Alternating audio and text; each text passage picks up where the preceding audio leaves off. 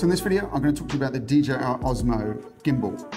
Now essentially, this uh, Osmo is a 4K miniature camera with a built-in gimbal or stabilizer.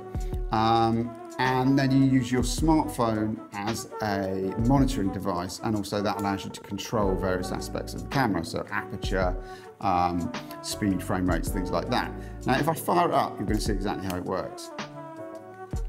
There you go, it's centered itself already. So if I now move my hand left and right, you can see the uh, camera is staying pretty much perfectly stable. Um, backwards and forwards, I do the same thing. Now we've got it set to allow a little bit of movement. Um, so basically if I turn the camera slowly, you'll see that the camera slowly starts to follow. If I do it that way, you can see the camera slowly starts to follow. That basically allows for quite a smooth tracking shot. Um, and it's really useful if you're following vehicles or you're following behind someone. It just keeps the camera completely stable it means those sort of movements stay smooth.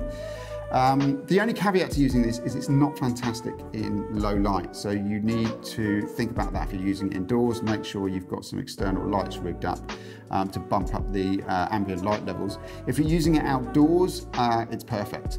And as you can see in this example here, we shot from uh, one motorbike, from the back of one motorbike to another, um, and it was perfectly stable. Got a really, really nice wide shot. Colors are really good.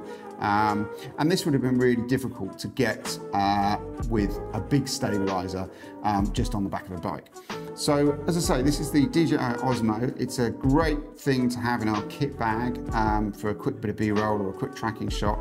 Um, if you've got any questions about this or the video in general, feel free to drop them in the comments or drop me an email.